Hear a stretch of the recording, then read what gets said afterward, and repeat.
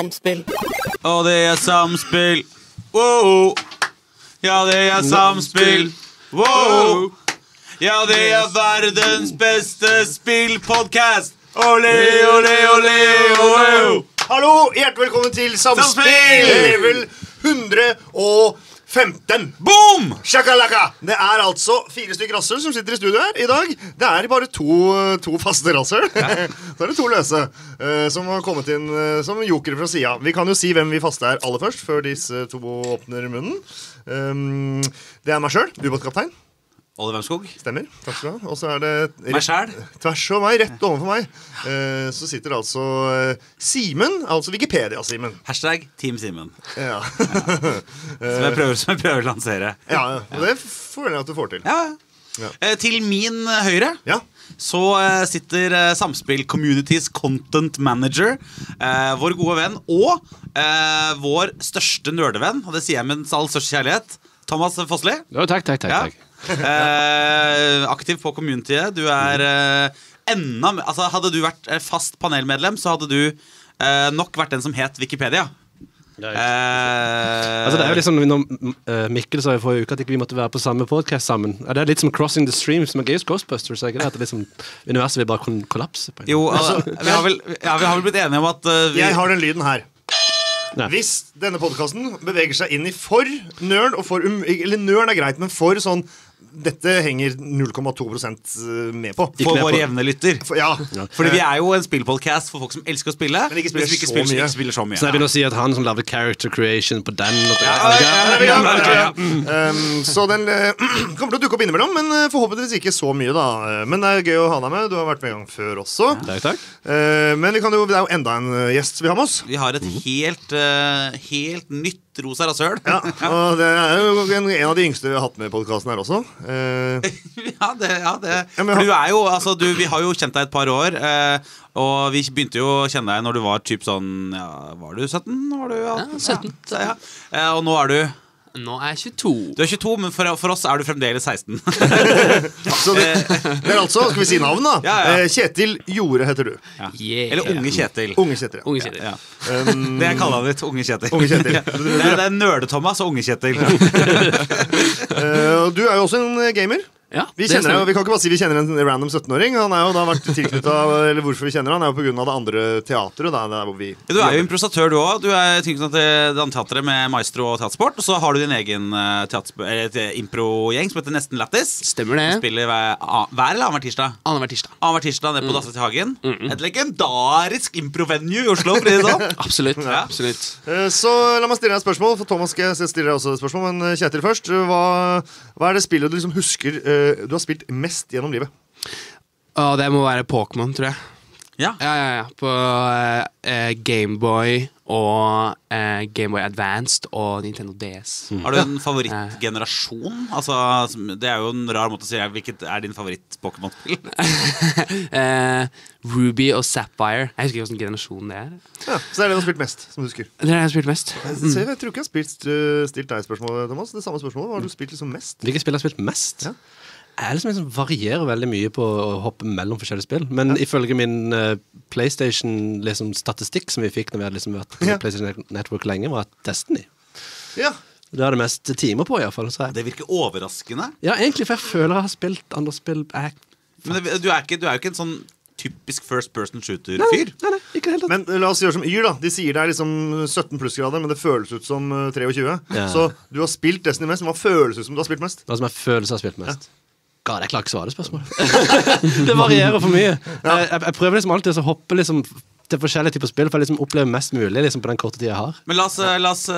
Jeg er ikke sånn som henger meg opp i en sånn her liksom, Hva heter det for noe Games as Services og sånne ting. Liksom, som liksom sitter der lenge. Bortsett fra Destiny, da, for det- der var vi en god gjeng som spilte det. Men la oss eh, snu på spørsmålet. Du er på en øde øy. Eh, Du har, har med deg en 65-tommers plasma-TV og en PS4 Pro. Og du har strøm, og du har, kan ha med ett spill på disk som er ferdig oppdatert for alltid. Uh, Hvilke spill er det du tar med deg? Oh, God. Der må, være, der må det være et spill som varer lenge, men No Man's Sky varer jo lenge, da. Æsj! eh, Skal du spille No Man's Sky? Du skal, du skal til in ingen sted være aleine på en øy. Nei, jeg bare tar meg nøyaktig det samme. Bare at jeg er i universet. Nei, I don't. Det aner jeg faktisk ikke. Ja. Ja, Ha, Har vi stilt deg det spørsmålet? Har du fått det spørsmålet? Hvilke spill har du spilt mest? Nei, det, det sier seg selv at det er Rocket League. Nå er det blitt Rocket League. Men før Rocket League, da? Det, da altså, Fifa er nok det jeg har spilt mest, men det jeg føler jeg har spilt mest, Mm. det er på Commandore 64, et sånt karatespill hvor du kunne velge mellom hver- Jeg tror det var het karate. Ja, eller Kara Karakateka, eller altså noe sånt Nei, karate. sånt. Ja. Kunne velge mellom enten ha rød drakt, hvit Ja. eller blå drakt. Eh, og det, det spilte jeg så mye. Jeg husker jeg liksom, det, sånn, det var det første spillet jeg har sånn Dette her elsker jeg. Spilte det masse, masse, masse, masse. Det er det jeg føler jeg har spilt mest, men jeg har uten tvil spilt det kanskje minst.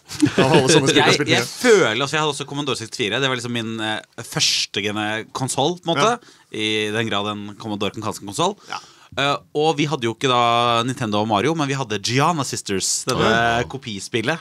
Ja. Uh, som eh, ble stoppa for salg, men vi hadde noen piratkopi av det. Så jeg føler at Giana Sisters har jeg sikkert spilt mer enn jeg har spilt noe annet spill. Men antakeligvis ikke. Nei, nei, Nei. Eh, Men vi skal jo ha en podkast, da. For de som lurer på hva de hører på. Eh, Så er det jo altså en podkast. Vi skal snakke om hva som har skjedd i spillverdenen vår den siste tida. Og så er dagens tema Det er jo rett og slett skumle spill. Spill vi syns er skumle, og det er, vi har sånn vært innom det her at de fleste av oss faste i Samspill er jo livredde. Vi tør jo ikke spille eh, skumle spill. Eh, skal vi sjekke om noen av dere er glad i skumle spill? Eh, Kjetil, er du glad i skumle spill? Nei, ikke i det hele tatt. Thomas, er du glad? Å, jeg elsker de. Ikke sant? Ja. han elsker. Så uh, la oss kjøre en liten jignett, og så høre hva som har skjedd i spillværa vår den siste vekka. Boom! Ho! Samspill. Hey, det var en bra jignett! Sjelden bra i dag. Hva har skjedd i spillværa vår den siste uka? La oss bare begynne med deg, Kjetil. La oss si den siste tida, da. Ja? Ja, Hva har skjedd i din spillverden? Åh, jeg har fått uh, spillet som jeg har venta på i mange herrens år. Ti år. For Kan jeg få lov til å sette stagen før dette? Fordi, fordi For halvannen uke siden så fikk jeg en melding fra Kjetil. Mm. Messenger, og jeg var sånn «Eh, Er du klar, eller? Nei, mener du? Nei, mener altså Skal du spille dette spillet? For jeg venta sjukt lenge. Altså jeg, altså jeg, jeg skal på jobb, liksom. Jeg, jeg skal på skole, og så skal jeg faen meg bare hjem og bare game, game, game. game, game, game, game, game, game. Eh, og da, tenker jeg at da, da er hypenivået ganske heftig. Eh, da kan du få ordet. Hva er det du har spilt? Jeg har spilt Kingdom Hearts 3. For den jevne samspillytter som eh, ikke har uh, kjenner spillet, hva er Kingdom Hearts-serien? Kingdom Hearts-serien er en serie som handler om en gutt som heter Sora, som har et keyblade, basically et sverd som ser ut som en nøkkel, som er nødt til å rydde verden for darkness og for å redde vennene sine. Det er det det er i korte trekk. Ja, Dette er jo det tredje spillet, da? Eller? Ja, eller? Ja, Det ja, var et lurespørsmål, for det er jo ikke det. Eh, Det er jo, altså, det men er det? det er jo et japansk rollespill Ja, ja, ja. hvor Disney møter Square Enix, altså Final Fantasy-karakterer. Ja. Det er grunnideen. Ja. Og dette spillet heter Kingdom Hearts 3, men det er ikke treeren. Men det er treeren liksom sånn hovedspillet. Ok, fordi det er nemlig Det er nemlig Du har liste? Jeg har liste. Jeg skal bare finne lista. Mhm. Kjetil Lars inn på telefonen, inn på bilder, der har han tatt bilde, screenshot av noe, og der er han i gang. Der. Ok, så det er 1, 2, 3, 4, 5, 6, 7, 8, 9, 10 11 spill til nå. Så det er elleve spill, men nå kommer treeren. Nå kommer treeren. ja. Og jeg fant akkurat ut at uh, de brukte bare tre til fire år på å lage spillet. De har ikke brukt liksom ti år på å lage spillet. Jævler. Er det, er det gått tolv år siden nummer to? Mm. Ja, og så har det vært masse sånne eh, Vi har snakka litt om det tidligere i Samspill. Altså det har vært mye sånn Det har kommet et spill til PSP, Mm. til eh, DS, til 3DS, til Vita.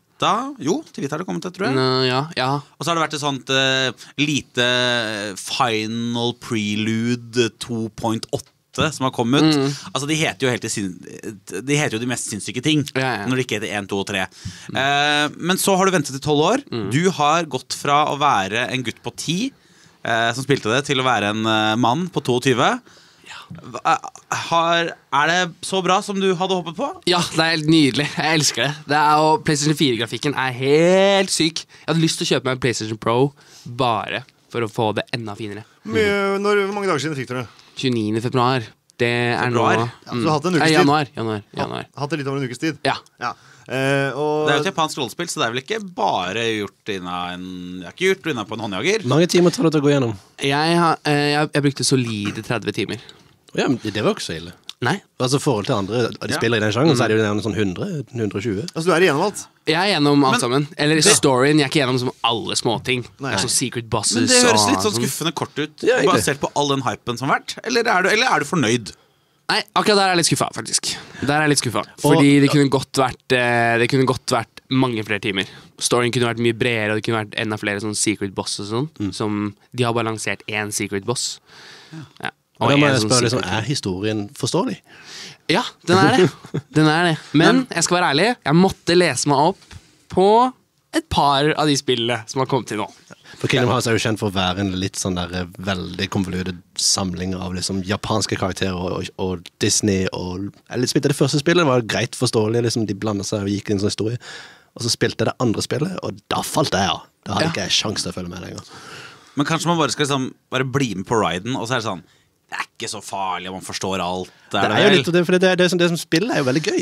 Ja. Altså, denne her, det er liksom sånn et slags, Er det ikke sånn tredjepersons Litt sånn JRPG, er sånn men ikke action-RPG. helt, liksom. Men med Mm. litt sånn uh, Litt sånn uh, turn-based Eller man kan, man kan slå med, med trykker på en knapp og slå, da slå sverdet. Yeah. Men så kan man altså ha noen spells ved å trykke på en knapp. Jeg tror det Ja. minner mer om Nino Kuni enn det minner om uh... Det, Da får jeg lyst til å spille det. Ja, fordi Nino Kuni er ikke sånn Nå angriper jeg, og Nei. nå angriper Det er ikke som Final. Fantasy, sånn inn i en sånn arena slåss med de, og så ferdig, og så videre til neste, liksom. Så det, det er liksom men, Men terningkast på dette spillet høres ut som du har trilla den eh, ferdig. Jeg gir deg to terninger. Du kan kaste begge to. Ja, en, terning om, en terning om hva trodde du at det kom til å være, basert på hype, og hva Ja. ble det? Eh, jeg trodde det kom til å være terningkast eh, Jeg forventa jo terningkast seks. Ja. Og jeg kan si at det var terningkast seks. Boom! Nice. Boom! Boom. Så det er altså en liten anbefaling. Ja, absolutt. absolutt. Eh, Så Thomas, hva har skjedd i din spelverden? Ja. Uh, min spillverden så kan jo snakke om det som jeg har spilt først ferdig denne uka her. I hvert fall, I hvert fall den første run, som det heter, og det er Resident Evil. Men du, ja, ok. uh, ja. Skjønner i, i, i VR. Med VR. Nei, dessverre. Resident Evil 2 er ikke VR. Det er, eh, Resident Evil 2 er jo en remake. Ja, for det kommer ikke VR i det hele tatt. Nei, det, Nei det, er, eh, det er en remake av eh, vel, Resident Evil 2. Ja. Som er et spill som er satt selvfølgelig etter Resident Evil. uh, I Resident Evil 1 så er det jo De forviller seg inn i en sånn rikmannsmansion og finner ut at det blir lagd et sånn kjemisk våpen uh, som de prøver å selge til utlandet, som heter det T-virus. Som essensielt er en zombievirus, enkelt og greit. Eh, og den slipper da ut i Raccoon City gjennom noen rotter, som gjør da at hele byen går til helsike. Uh, og midt oppi dette her så har vi eh, Claire Redfield og Leon Leon S. Kennedy. S. Kennedy, ja. Som da tilfeldigvis ender opp i denne her smørja, og vi har en klassisk zombiehistorie. Som Og den første, spillet, det, som første versjonen av dette spillet her i 2002, vi kom jo ut i 1998, ikke husker feil. Eh, og, eh, og siden da så har de liksom De har tenkt OK, la vi det her på nytt. Så vi tar ut manuset, og så kaster vi resten, og så begynner vi på nytt. Og ikke bare det, jeg tror faktisk jeg har skrevet om litt grann i historien også. Og det er mange som kaller det for en remix istedenfor en remake. For det er litt annerledes. Noen av disse puzzlesene er litt forskjellige, gjort litt mer til et moderne publikum. Eh, og det er ja, kjempeskummelt. sånn. Men eh, Resident Evil har liksom aldri vært uh, det spillet som jeg alltid har sett på som det skumleste. Men jeg hører jo folk som liksom hopper i her og der i, i mente av liksom disse her. Det er mye jump scares, som det kalles. For du synes ikke det er Du sier du det er skummelt, men du syns ikke det er skummelt. Altså Dessverre så er det liksom sånn at jeg, jeg, når jeg begynte å spille det, jeg begynte å spille det som Leon Kennedy, og det fant jeg ut det var en stor tabbe. Ja. Ja, fordi Fordi at visstnok Cannon er Claire først, og så Leon. Det Og det, som er, og det som er litt merkelig med det, dette spillet her er fra 1998, og du merker det. Du merker det spesielt med tanke på liksom forskjellige temaer, hvordan karakterene oppfører seg, hvordan de er skrevet, og liksom Som for eksempel, spiller du Leon, så møter du en sånn FBI-agent som liksom eh, skal følge etter deg, og hun eh, har selvfølgelig på seg en sexy kjole og høyhælte sko, og skal liksom være en sånn ja, det som man ville sett på som helt fem normalt. fatal. Ja, fem fatal, helt normalt i 1998. I dag ville folk bare liksom banna og heve den filmen rett til helvete. Det, går jo ikke an, liksom. Eh, og det er jeg egentlig helt enig i. Jeg bare ble så irritert når hun kom fram. Og liksom sånn, det, som var så, det som var så kult, var det at i begynnelsen med Leon, så var det som, jeg merka det at dialogen var bedre. Eh, Måten det var fremløp på var bedre, motion capturen var bedre. liksom sånne ting, Eller klart klarte å leve meg inn i det. Og så kom den der himla dama, og jeg falt helt ut for den himla japanske tropen og denne her utrolige kvinnekarakteren som var bare så utrolig dårlig. Uh, og så etterpå så spilte jeg gjennom eh, Claire sin campaign, og da er det jo en helt annen historie. Så du har spilt Clear A også? Jeg har begynt Nei, på B. Sånn, her er nerdegreier. Ja. Resident Evil 2 er jo delt inn i to uh, campaigns. Altså uh, rute A og rute B.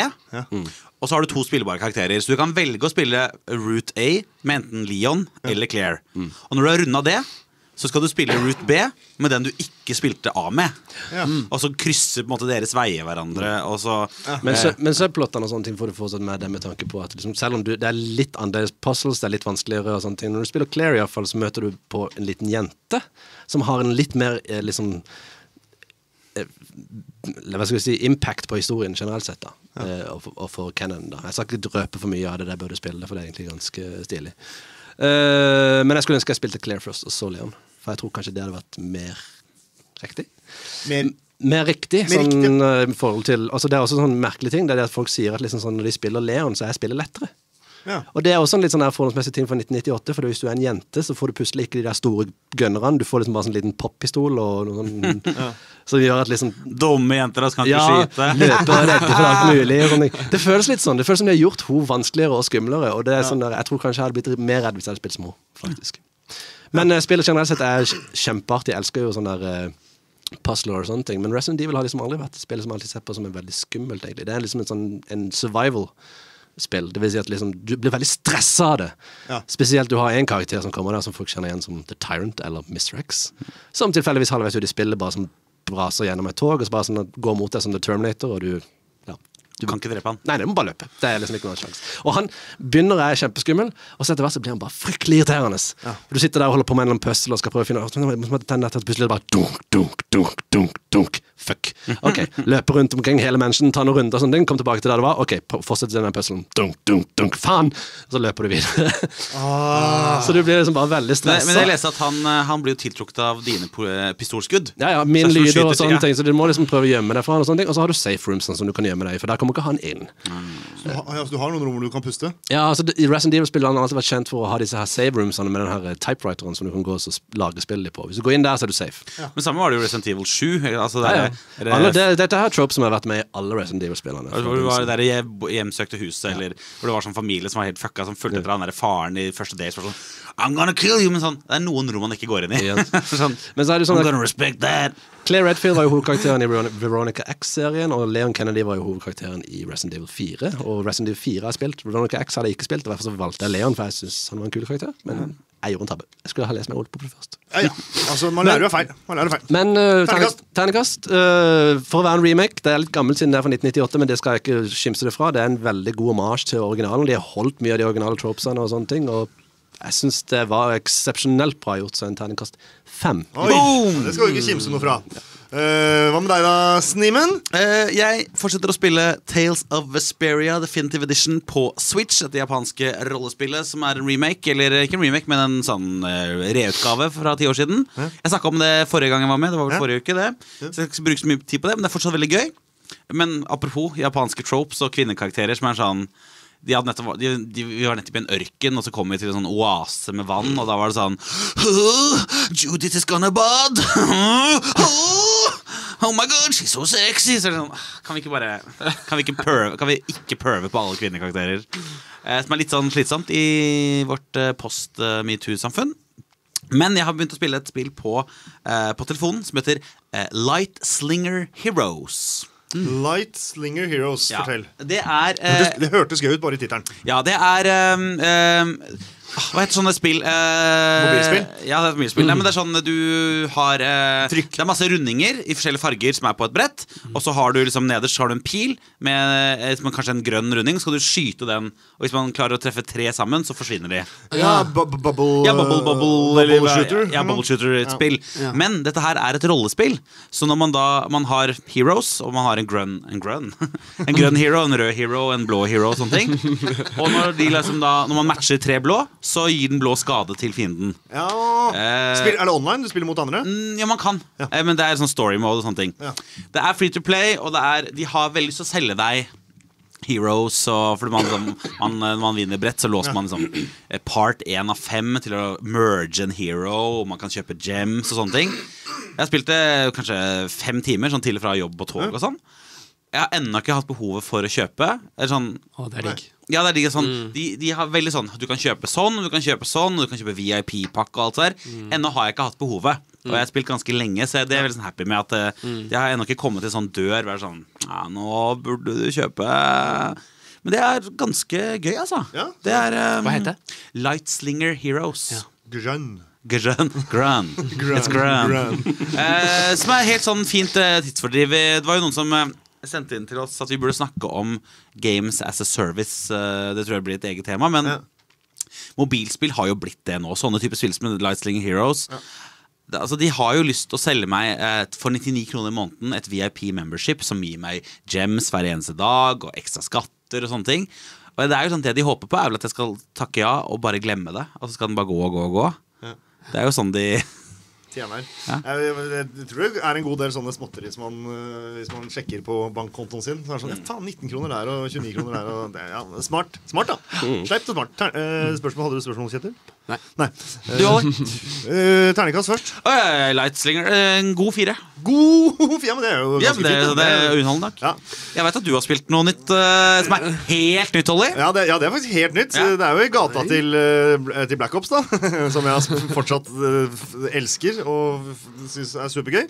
Tok en snarvisitt innom dette spillet som alle føler har lasta ned. Som har nå allerede 4-5 millioner brukere, eller hva det er. Ti millioner brukere.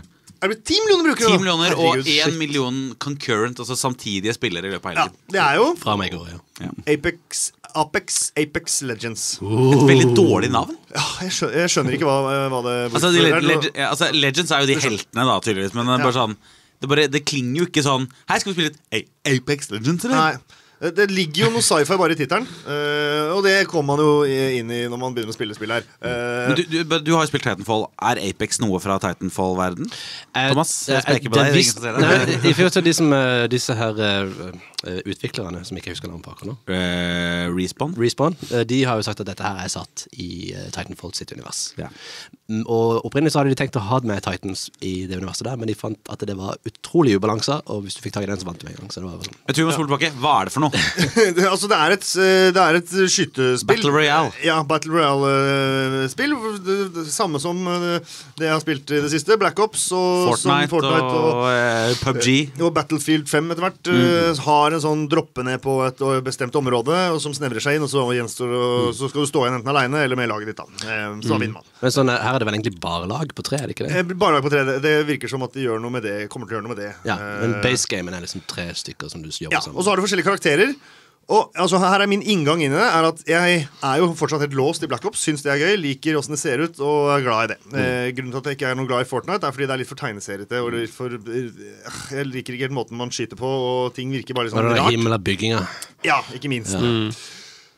Og i dette spillet her, som det minner meg litt bare Idet man begynner å spille, så er det mye mer Fortnite-feeling for min del enn en, en, enn, eh, Call of Duty, uh, Battlefield. eh, Mer, mindre realisme, mer sånn hoppe og sprette. Du skyter ut lilla kuler, og aimen er rar, og alt er litt rart. Ja. Så du, du kan velge mellom karakterer da som har forskjellige skills. Så det er litt sånn Overwatch-aktige Ja. karakterer. Ja. Altså det er, eh, Og er og det skiller jo det fra andre Altså andre Jeg føler at andre Battle Royale-spill er jo sånn alle står på likt, altså likt lik grunn. Ja. Det, man er på en måte den samme karakteren. Ja. Her har man forskjellige skills. Ja, og det er, det er litt kult uh, i utgangspunktet. Det, det er jo sånn det kommer til å bli Battlefield antageligvis. Uh, så det, er, det liker jeg. Tanker på det. Men jeg bare Jeg hata det fra første sekund. Og jeg gjorde det. Ah, fy faen for et drittsekk. Altså, det er jo sikkert kult, men æsj. Jeg ble, sånn- jeg, ble, jeg ble sint når jeg spilte det. Sikkert fordi jeg er så utrolig vant. Det er som å ha spilt eh, Hva skal jeg sammenligne med? La oss sammenligne Fifa og Pro Evolution Soccer. Det er det Ja. samme, men det er noe annet. Og det er andre kontroll altså, det, er, det er bare sånne småforandringer.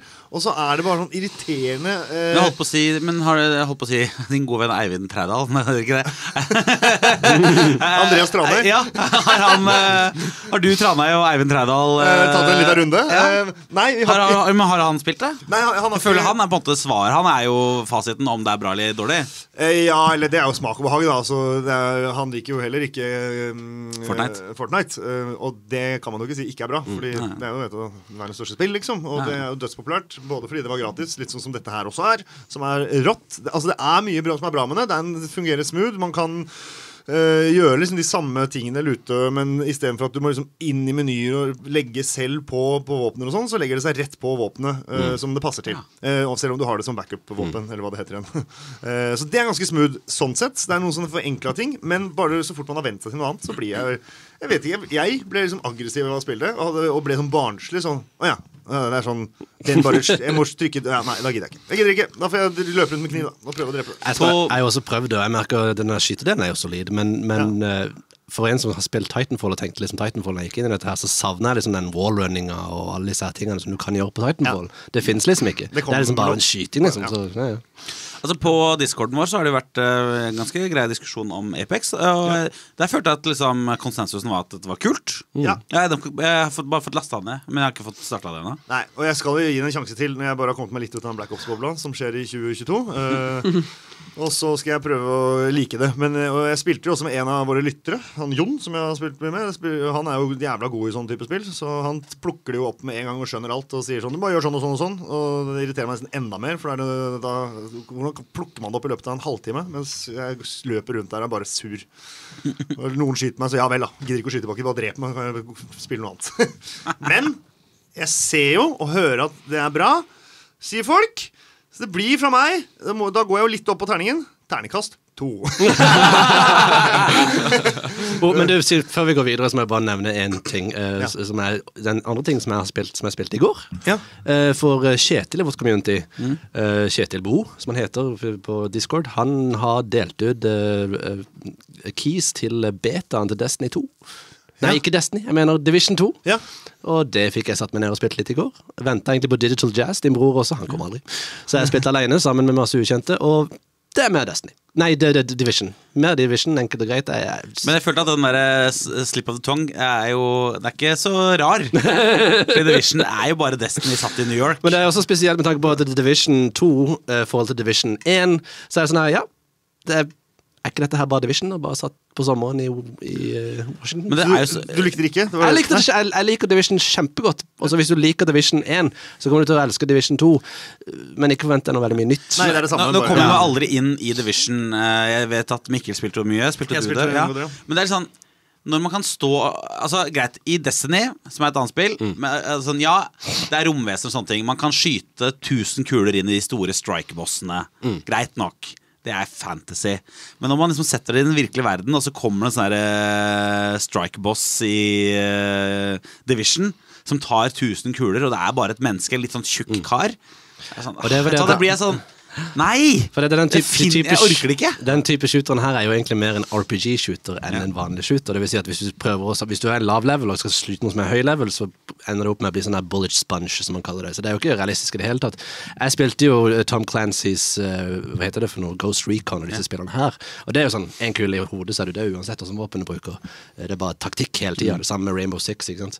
Og så når du kommer til et nytt Tom Clancy-spill som er litt sånn RPG-shooter, og så plutselig så er det bare bullet sponges, så var, jeg merka jo jeg ble litt satt ut av det i begynnelsen. Men det som er kult med Division, Division ja, er eh, det er det at hver gang du går inn i en, en eh, ny sånn her eh, mission du kan gå inn i, så kan du matchmake i begynnelsen uten å ha liksom de der fem vennene som du spiller med. Så blir du bare randomly picked sammen med fem andre, så må man samarbeide for å gjøre mission. Og det er genialt. For de, de spillene der er ment for å spille sammen med folk. Og du trenger ikke chatte eller noen ting, bare så lenge alle sammen vet hva vi skal for noe. Ja, ja, ja, Så det er litt kult. Kult. Men Uh, i det Apex Legends må man være party på tre. Ja. Men Du må, ikke, du må ikke være party på tre. Altså, du, jeg kan spille aleine, og så joiner jeg bare to andre. Eller, Det er også matchmaker Du, du matchmaker men det, det som er Det vi ikke sa på, om Apex, da, er jo at de har jo eh, Det er et sånt pingesystem som er ganske Altså er sånn context-heavy. Sånn, dersom du er tom for uh, ammo og åpner liksom eh, inventoren din og pinger der hvor det ammoen din er, så sier karakteren din i, i, i character til de andre sånn Hey guys, I need some ammo for my gun. Hvis du, hvis du ser Ja. fienden komme over hillen, så kan du peke på det, trykke på R1, så sier han 'enemy over there'. Ja. Sånn, Så det er, sånn, det er veldig mye sånn context-clues. Eh, det tror jeg det gjør det lettere å samarbeide selv om man liksom matcher med pubs. da Jeg kom også på en ting som er i Apex som er jævlig kult. øh, Og nå lurer jeg på om det er fra den uh, fil... Ja, uansett. Uh, Du ser til enhver tid kan du se opp liksom, på et fjell, og så ser du hvem som er uh, Hvem som leder. Hvem som har skutt mest. Og jeg er litt sånn Hunger Games-aktig. Ja, Så det henger liksom ned sånne svære svære plakater. Det heter ikke, Hva heter det? Bannere. Tre av de. Så liksom Første, andre og tredjeplass. Og så kommer det sånn Så uttaler, nei, sies det over høyttaler over hele øya hvis uh, leader blir New skutt. kill leader Ja. has been appointed. Yes. Kult. Så det, det er kult. Det føles jo som en sånn der Hunger Games-aktig arena, egentlig, så det er litt kult. Ja, Men du må si ifra, Simen, når du skal prøve det, for da blir jeg med. Ja. Så kan vi eventuelt hate det sammen, eller eh, kanskje finne, finne et spill vi kan spille sammen. Det gjelder meg også. Ja. Eh, Ja, jeg skal ikke være med, fordi jeg hater Fortnite og alle sånne spill. Og så er det ikke plass til mer enn tre. Så vi tre har allerede meldt oss. Vi har flere folk i communityen. Gå på Discord. Men vi har så vidt snakka litt om Resident Evil, men la oss snakke litt mer om skumle spill, og hva som er bra med det, hvorfor vi bør spille det, kanskje. Og kanskje Jeg har, jeg har så jævlig lyst til å begynne å spille det, men jeg tør ikke. Men du må få meg opp på den sida, Thomas. Så kjør. eh, Hva sier vi, Kjetil? Kjør Gignetti!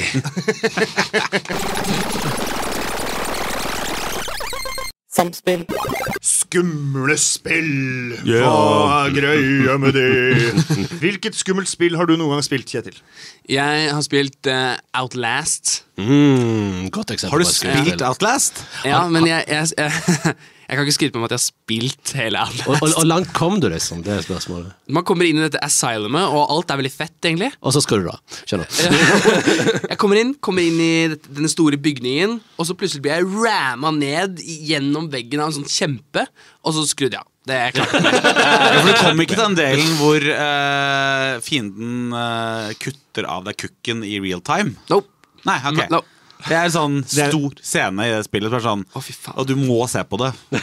Du må se at han tar en saks, tror jeg, en sånn rusten saks, og klipper av deg kukken. Men det er sånn, det har blitt VR-spill, har det ikke det? Nei, Nei, det tror ikke avklest, ikke. Outlast, men uh, det hadde vært et bra VR-spill. Da kan man bare kikke vekk. se. Se vekk. Sånn. Men for, å- for, for å gå tilbake til liksom det som Molly snakker om hvorfor vi liker skumle spill, og hva som er grunnen til at i hvert fall jeg liker skumle spill, Ja. Da må du nesten Tenk tilbake på din barndom. Ja, Hva var gøy? Hadde du, har du søsken? Ja storebror. Han er åtte år eldre.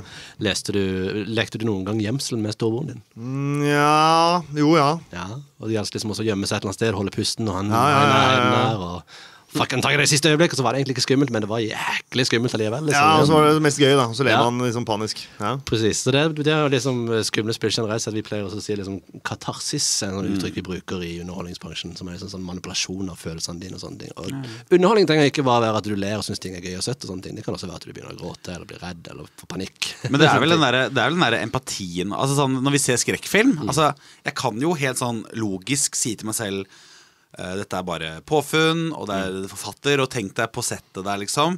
Der var det en uh, gaffer og en bestboy og en regissør og Folk var sånn slitne, og folk var sånn Hei, John, what you do? Ok, la oss ha opptak! Og så er det sånn er vi jo ikke lagd. Du tenker jo ikke det for eksempel når du ser porno. Nei, jeg tenker jo ikke sånn Ja, her har vi en 15 stykker eh, som driver Jeg har jo det! Jo, altså, det, jo, jo, men det, det er greit nok. Altså, men det vi, vi, det, Vice har masse kjempemorsomme dokumentarer. Jeg så en dokumentar på YouTube Vice-dokumentar fra en fyr som har sånn Han tester ut jobber i pornobransjen. Bare sånn I made fake jizz. Eh, han sto sånn bak og spruta fra sånn fake eh, var sånn der, da, En fyr som hadde bestilt sånn custom porno. Eh, det var en damer som hadde på seg sånn fake dicks, som skulle pule en annen dame. Og så skulle liksom masse jizz. Han sto sånn rett bak og spruta sånn fake jizz. Og sånn. Dette var også en jobb. Ja, ja. Det var også en skummel greie. det, Poenget var at man lever så ofte inn i det man ser på. Jo, det, jo, Så nei, ja, jo, det er og poenget. og det er jo empatien vår. Det er jo empatien og medfølelsen for de som gjennomgår men liksom, også, også det å hause hverandre opp. Jeg tror Hvis jeg hadde spilt Resident Evil med deg ved siden av meg, og du hadde blitt kjempeengasjert ved siden av meg altså, sagt vekk, løp vekk', løp vekk så hadde nok jeg vært mye mer stressa og mye mer redd. Er det sant? Det er jeg stikk motsatt. Hvis jeg hadde spilt med noen av dere, hadde jeg tenkt sånn, faen, nå kan jeg slappe av. Ja, ja, men da kan jeg være jeg hadde det. «Løp vekk, løp vekk, Jo, løp men, altså, hadde, men da hadde vi ledd eh, sammen, holdt jeg på å si. Det hadde vært skummelt sammen, og da er det mindre stress. Jeg husker vi kjørte gjennom en skog på et, jeg, jeg jobber i filmbransjen, så vi skulle til en location langt inn i skauen et eller annet sted. Og jeg kjørte bilen, og det vi så foran oss var bare sånn to meter med lys, og så satt en jente som var regissør ved siden av meg. Og hun ble bare mer og mer redd og begynte å fantasere om folk som kom til å hoppe ut i sida og stoppe foran bilen og liksom alt det her. Og jeg var ikke redd i begynnelsen, men i løpet av halvveis i den turen der, så hadde hun klart å, å, å radle meg såpass mye at da var jeg redd. Ja, men det er jo man, Men hu- hu- huet er uh, merkelig. Hvis jeg kjører bil og kjører aleine, Ja. Og kjører sånn typisk skog på høyresiden, skog på venstresiden, så tenker jeg liksom ingenting, men plutselig så bare er det akkurat som en eller annen som prikker meg på skulderen sånn inni huet mitt sånn Du må, du må ikke se i bakspeilet. Får jeg plutselig en tanke, og da får jeg Ja, Fy faen, jeg for, det, for det sitter en sånn Ja. clown rape murder i eh, Ja, og Er det noe du ser i det bakspeilet når du, eh, er jo, når du prøver å ikke se i det bakspeilet, så ser du jo fortsatt Du har jo en, en, en, en Ja, ikke sant? Så føler du at det er der, og for faen, jeg bare sånn! Så, Altså, eh, jeg husker jeg og eh, vi så, Jeg og en kompis så The Grudge. Nå blir det mye film, da, men jeg føler det er jo mye av det samme. Vi så uh, remaken av The Grudge Ja. uh, på Ski kino back in the day. ja. Uh, nei, det var ikke den filmen. Det var ikke den filmen. Det, vi, vi så Dawn of the Dead. Altså remaken av zombiefilmen, Ja. som er jo på et kjøpesenter. Og Ski kino er på et kjøpesenter. Og så skulle vi opp i tredje etasje, i, det- og dette var sånn eh, kveldskino, så den var ferdig sånn halv tolv. ja, så alt er stengt, liksom. Alt er stengt, og så er det da Det er jo en klassisk scene i spillet eh, Eller i den filmen satt i parkeringsbygget Hvor det kom masse zombier inn Og de prøver å rømme og klarer ikke det Og så går vi opp trappen Og så er det vi skal opp i tredje etasje Og så står bilen vår selvfølgelig klassebasert liksom, på helt andre siden Av eh, der vi, der vi kommer ut av døra Og så går vi, og så plutselig så bare sånn Merker at han går litt fortere enn meg Og han går, jeg går litt fortere enn han Og plutselig bare spurter vi til bilen Og så opp, opp Gosh! Ah! Ingen har sagt noe. Nei, ingen har sagt en dritt. Det er bare, det er bare fantasien vår som setter oss i gang. Og det er jo noe med den derre Jo, men det katarsisbegrepet er jo ganske treffende. Mm. Det er jo eh, Altså, det er jo eh, fra Nå kan du fare for at det er, Ja, ja, ja, Dette er mer sånn teaternerding, altså. Ja, jeg, er nysgjerrig, jeg er nysgjerrig på svaret, men det må bare ikke ta Dette er jo eh, fra poetikken, altså Aristoteles, den klassiske filosofen. Eh, han beskrev jo hvordan de tre store i gresk antikk skrev dramatikk. Aeschylus, Sofokles og Euripides. Og han sier da at det de gode dramatikerne gjør, er at de klarer gjennom frykt og medynk Nei, avsky og medynk, tror jeg den norske oversettelsen her. Altså, vi skal klare å følge helten. Eh, vi skal se at helten gjør feil. Eh, som, det er jo ofte hans egen feil da, i, i tragediene som gjør at han eh, faller. Og vi skal liksom gjennom frykt for at den samme skjebnen skal kunne treffe oss. Og så skal vi ha liksom, medynk, vi føler synd på han. og det er katarsisfølelsen. Og det er jo den Altså, jeg har ikke lyst til å bli spist av en zombie. jeg. Og når Claire blir spist av en zombie, da er det sånn Åh, fuck! Det er Nå blir jeg spist også. Det er også det som gjør at et spill som har karakterer du faktisk assosierer med, som du syns er liksom likende, og du følger med i historien, blir engasjert i historien og sånne ting, det skumlere blir det. Et av de skumleste spillene vi vet om, det blir ikke sett på som et skummelt spill i det hele tatt. Eller det blir fall ikke sett på som et horrorspill når man snakker om det, Eh, og det er The Last of Us. Ja, jeg, jeg sliter med å spille The Last of Us aleine. Og det er faktisk på toppen av min liste på det skumleste spillet jeg har spilt. Egentlig bare fordi at jeg bryr meg så veldig om Joel og Ellie i Ja. det spillet. Så når, når Joel, uten sånn minimum eh, story spoiler, når Ellie blir boosta opp i, i, inn i en sånn heissjakt inn i et hotell, så ryker jo den heisen når Joel skal til å hoppe opp. Og da flyker han ned i bunnen av den heisen, og Ellie blir alene på toppen, og han er plutselig nede i kjelleren. Og han bare sier ja, 'glem det, bare gå videre, jeg finner meg en vei opp'. Og så er du alene der. Og du finner en dør, og den døra har en lås på seg, og det er selvfølgelig en elektronisk lås. Og du, ha, du har et keycard som du har fått tak i, men du har ikke strøm til den her. Du følger kabelen rundt, ned i sånne her vannområder, og så hører du bare Ja, ja, jeg skjønner jo Det er jo, ok, det er jo Og det er så du vet at når jeg tenner dette aggregatet her, da går alt til helvete. Og du tenker liksom bare sånn Ok, jeg må bare forte meg, tenne den, og så må jeg løpe sånn. Jo, men det er mindre Det syns jeg er mindre Altså så fort Altså det er så fort frykten er der, hvis, sånn som når du går rundt og du venter og venter og venter, du hører og hører og venter på å bli skremt skremt eh, og syns ting er jævlig, det er noe jeg Men så fort liksom det, han, maska Scream eh, kommer ut og løper rundt, så er det jo sånn Ja, men er frykten Ja. borte. Det er sånn, okay, ok, der skal de Men slåss. det, men det er jump scare-delen. ikke sant? Og det er jo liksom sånn her, du drar i den, og så plutselig ja. så kommer alle etter deg, må løpe som faen, og så kommer du deg ut av. Men det som jeg syns er faktisk mye skumlere med spill, det som er grunnen til at jeg sier at Resident Evil det er sånn Det er sånn stressende sånn her jump så hunder som hopper gjennom vinduene, og sånn der ah, Så kommer de, og så må du liksom skyte de, og så blir du stressa av det, og så er det ikke skummelt lenger, for de er allerede kommet, som du sier. Men har du spilt, hvis du har spilt et annet spill Mario når du går ned i røra. Du aner ikke hva som er der nede. Konkur konkurrenten til Resident Evil Altså begge, begge disse spillene her var jo inspirert av Alone in the Dark fra 1992, som er et gammelt sånt spill med sånne faste kameravinkler. og Skal ikke snakke for mye om det, det blir. Men uh, Silent Hill 2, eller Silent Hill-spillerne, som var Konami sin versjon av disse spillene, er eksepsjonelt mye skumlere, bare fordi de er såpass fucked up. Hvor du har liksom monstre som bare består av to kvinnedeler. Altså, hun har kvinnebein og kvinnebein på toppen.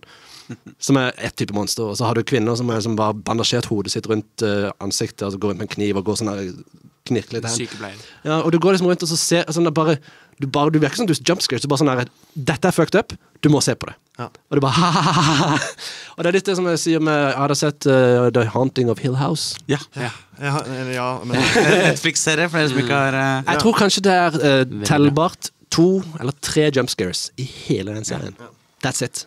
Ellers er det bare sånn der eh, er nesten enda verre. Det er mye verre med sånne ja, men også det skumle Ok, men er, det- er det lov å snakke om den serien? Kan vi Du kan ikke spoile noe. Nei, ok, fordi- fortsatt. Eh, Nei, eh, da skal jeg, jeg, skal, jeg, jeg lover jeg skal snakke rundt det. Ja.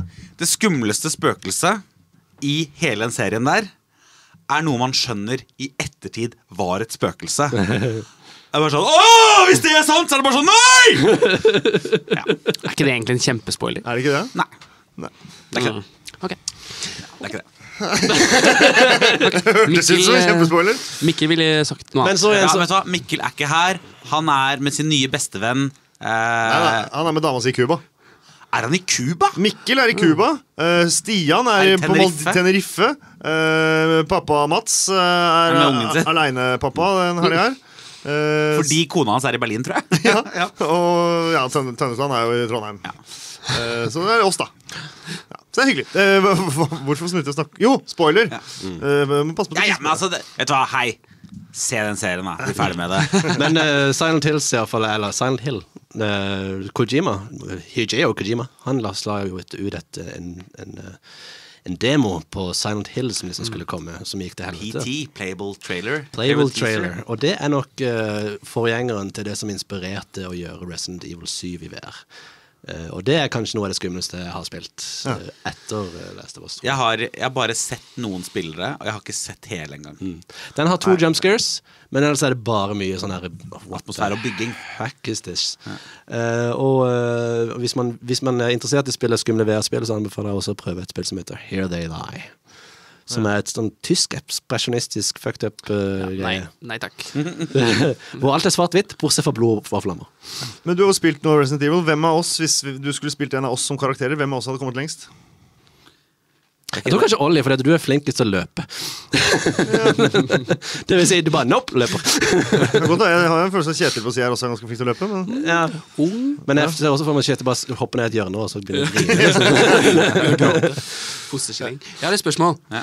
Dere må hjelpe meg med å forstå en ting. ja. Jeg elsker skrekkfilmer. Jeg kan se på skrekkfilmer så mye jeg vil, og jeg elsker de. Og det er ikke noe stress i etterkant. Ikke noe stress. Jeg blir ikke påvirka på noen som helst måte. Det samme her. Men hvorfor kan jeg ikke spille et fuckings skrekkspill? Som Det er fordi du ja, det, Jeg vet svaret. Det er fordi du må pushe skrekken videre. Det er du som må ta valget om å skru på det aggregatet. Du kan leve i en verden hvor det er sånn jeg, jeg, kan bare, jeg kan lagre nå, jeg kan slå av, og så er jeg ferdig. Men Ellie blir ikke redda hvis ikke du skrur på det aggregatet og møter monstrene Hvor mange ganger har ikke du sett en film hvor du bare tenker Nei, nei, nei, ikke gå inn der. Ikke, idiot! Ikke gå inn der. Hvorfor går du Du går Herregud. Han ok, han dør. Men nå er det du som skal gå inn der, og du vet at du bør ikke gå inn der. Men du må inn der fordi det er et eller annet gjenstand inni der som du må ha for å åpne den døra for å løse den koden. Men vet du hva, men, men når det kom til eh, Last of Us, så kom det et sånn pragmatisk del i hodet. Altså, for jeg, det, det er et spill jeg tradisjonelt hadde syntes vært for skummelt å spille. For skummel. For skummelt. jo, men jeg kom med en sånn pragmatisk sånn herre Ja, vet du hva, jeg skal bare Ok, du er der, jeg skal lage den Molotov-cocktailen. Eh, og ja, jeg kan lage en ny shank. Altså, jeg kom med en sånn her sånn Jeg tror jeg ble sånn som man må bli i en sånn Ja, zombie-apokalypse. liksom- Ja, sånn ok, greit, greit. Det er zombier, jeg må forholde meg til det. Men jeg må også liksom, være klar. Og det er altså, Når man ser The Walking Dead, som dessverre har blitt en ganske dårlig serie Men når man så sånn sesong 3-4, da har det fortsatt vært ganske bra, hvor liksom, den gjengen har gått fra å være sånn Vi vet ikke hva som skjer, til vi kan cleare et hus på to minutter, og alle vet jobben sin. Og hvis man veit jobben sin, og det eh, vi snakket om det litt uh, før. En måte å gjøre Resident Evil veldig lite skummelt på, er jo å begynne å altså brekke ned spillmekanismen. Eh, det er en YouTube-bruker som heter Distortion2, han, eh, som er speedrunner. Og han har speedrunna nå Resident Evil-remaken. Ja. Og han spiller jo det ferdig på en time. Ja. Og det er sånn, fordi han, han har knekt det ned. Det er sånn, ok, for Han sitter og prater mens han spiller. Okay, gonna run in this room, gonna dodge the zombie, gonna shank this guy, gonna get the key, gonna turn on back, gonna go to the get the key get the... Og det er bare sånn, å ja, men Da er det jo ikke skummelt, for han har bare, han bare all spenningen, eller all spenningsbyggingen er borte. For han, han har optimisert Optimisert? Optimisert? Optimalisert. optimalisert spilleruten sin. Ja. Han veit hva han skal gjøre. Ok, so if I go here, I don't trigger Mr. X. And I'm gonna go there, I'm gonna do that. Og det er bare sånn, ah, ja. Altså, man, man må bli sånn, klare å bli pragmatisk, men samtidig da, Kanskje man mister man hele poenget med å spille skrekkspill. Man skal jo bli redd. Ja, det er jo en del av, del av det. Det er som å komme første, Hvis du er første person til en uh, ulykke, en bilulykke eller noe, så er det jo to forskjellige. Enten så får du helt noia, sitter og vugger eller løper av gårde, eh, eller så blir du sånn Ja. Ja, Ja, ok. rett inn. Ok, dette er situasjonen. Det må løses. Eh, så jeg, jeg tror jeg, kanskje jeg må gjøre den siste versjonen her for å kunne spille skrekkspill. Ja, Tenk på det. Ja. Men jeg, kommer til, jeg, skal, jeg, jeg lover å gi den en, jeg skal prøve, jeg kanskje skal komme til, eh, på besøk og prøve dette spillet. Jeg har det på disk. Du kan faktisk låne det. Nei, hvis det er greit, så vil jeg komme på besøk. Og så vil jeg Hvis du skal på besøk, så må du spille Resident Evil 7 i VR. ja, det, Det høres, ut som videocontent. Det altså, jeg kommer til å bli ødelagt for livet. Jeg føler det er det samme som du har hørt om de som har blitt ødelagt fordi de har tatt eh, feil trekk av noe Vet du hva? hva, vi, vi, vi, vi er like pyser. Vet du hva, vi, vi burde faktisk prøve å få til. Eh, En tur til Tenerife og bare slappe av og kose oss. Nei, men kanskje, sånn, kanskje det er sånn påskecontent, for det er litt sånn skrekk og krim og sånn. oh. Jeg og du drar til Thomas, og så er det sånn Hvem klarer å holde lengst, Lengst. i VR uten å dø?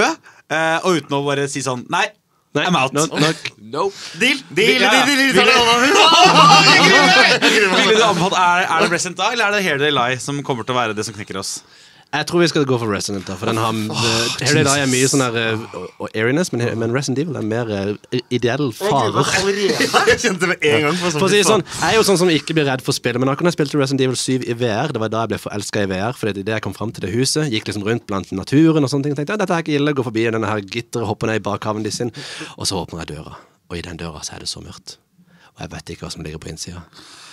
Og jeg klarer ikke å ta det første steget inn i det huset. Jeg står der på utsida i ti minutter og manner meg opp, og så hiver jeg meg sjøl inn, og så er vi i gang. Fy faen i anus. Det der Jeg tror det setter en god uh, punktum, ass. Ja. Gjør du ikke det? Ja, ja i episoden, ja. Ja, Ja, ja. ja, ja, ja, absolutt. Eh, jeg bare lurte på om vi skulle uh, runde av med én runde mitt spill. Mitt skrekkspill? Ja, Mitt skrekkspill. Ja. Ja. Vi runder av med én runde med mitt skrekkspill. La oss kjøre verdens korteste jingnet. Kjør! Jinglet! Samspill. Vi er tilbake. Eh, la oss kjøre mitt spill. Eh, Mitt skrekkspill! Kjetil! Ka! Kamehameha. Dette er eh, japansk eh, skrekk-remake av eh, Dragon Ball Z. Hvor du er en du, kan, du mister alle evnene dine. Og så må du bare komme deg gjennom en sånn mørk dal. Og Det er sånn action-RPG-spill, men du kan bare løpe. Mitt skrekkspill! Thomas Lu. Loom. Du spiller i et uh, gammelt uh, hus hvor ideen er å gjøre ferdig et veveteppe, men du mangler alle trådene, og alle trådene er gjemt rundt i dette her huset, og må finne fram til disse. Ah. Simen. Kwa. Ku. Quiet home. Du er eh, du er tolv år.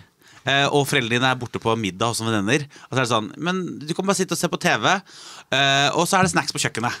Og så kan du gå og kjøpe snacks, men på, på veien dit så er det sånn, det er en sånn kjellertrapp ned til en kjellertrapp som er helt mørk. Og så hører du sånne ting der nede. Uh, Så er det sånn, jeg kan bare gå og spise den snacksen. Men så må du også gå og finne ut hva som er nede i kjelleren! og er det quiet, eller er det home? Olli eh, Ra. Eh, ra, eh, ra, rask Rask eller ikke. Fy faen. Du, er, spiller Storselgeren, rask eller ikke. Du spiller eh, first person Usain Bolt, som, har nett, som løper fra en zombie. Uh, men zombien spiser mer og mer av beinet ditt. Så er det bare en speedmåler som måler om du er rask eller ikke. Kjempespill. Anbefaler det. Funker, funker best på brett, brettspill. Mitt skrekkspill! Ja, det var én runde. Det får faen meg holde. eh, tusen takk for at dere var på besøk hos oss, da. Kjetil Jorde og Thomas Fossely. Mm. Eh, det er jo en, eh, en ære. Du har vært her før, Thomas. Kommer sikkert igjen. Du har ikke vært her før, men kommer sikkert igjen. Ja, takk for at jeg fikk spille. Mm.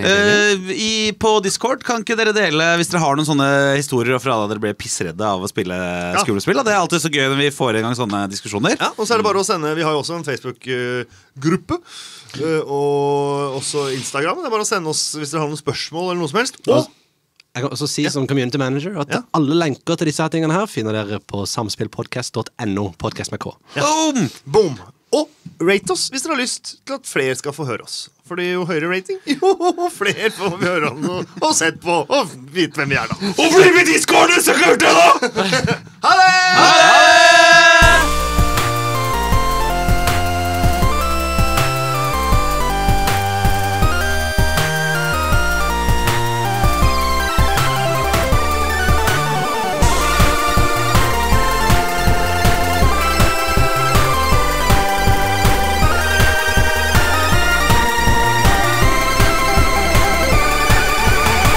samspill.